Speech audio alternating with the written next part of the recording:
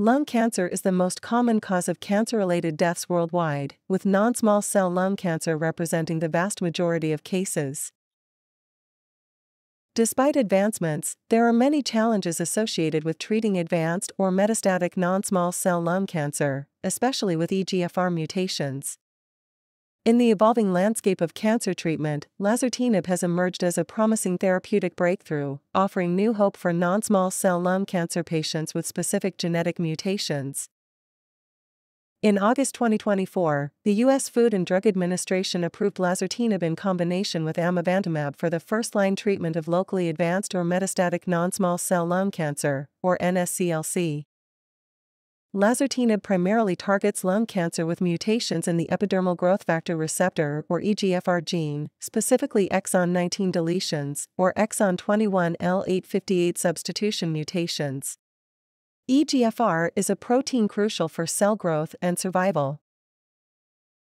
When mutated, this receptor can become overactive, leading to uncontrolled cell growth and cancer progression. These mutations are prevalent in approximately 10 to 15% of non small cell lung cancer patients, particularly in Asian populations. Lazertinib is a third generation tyrosine kinase inhibitor of EGFR. It selectively binds and inhibits mutated EGFR proteins, disrupting signaling functions.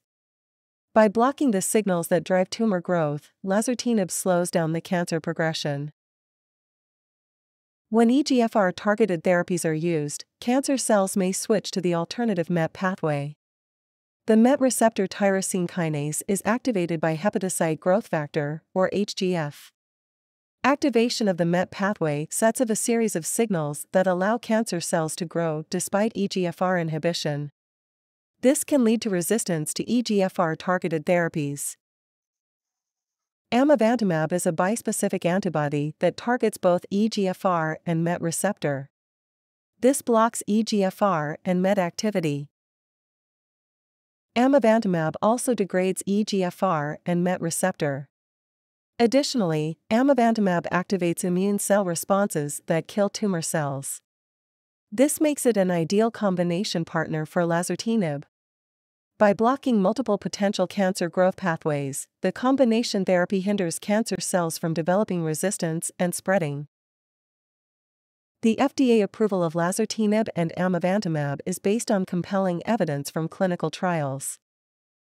The Mariposa trial showed that amivantamab plus lazertinib significantly prolonged progression-free survival compared with osimertinib. The median progression-free survival was 23.7 months in the amivantamab plus lazertinib arm and 16.6 months in the osimertinib arm. While the overall response rates were similar in both arms, the median duration of response was longer in the amivantamab plus lazertinib group, 25.8 months versus 16.8 months. These results highlighted the potential of lazertinib to significantly improve outcomes for patients with non-small cell lung cancer. The amivantamab and lazertinib combination is now the first and only multi-targeted chemotherapy-free combination regimen that has shown superiority over osimertinib for first-line treatment of EGFR-mutated non-small cell lung cancer. This approval signifies more than just the introduction of a new drug. It shows how we can fight cancer in a much smarter way. This new treatment specifically targets the cancer's weaknesses at a tiny molecular level, making it more effective and potentially with fewer side effects. And that's it for today's pharmacology video. If you enjoyed this video, please give it a thumbs up and subscribe to the channel for more pharmacology content.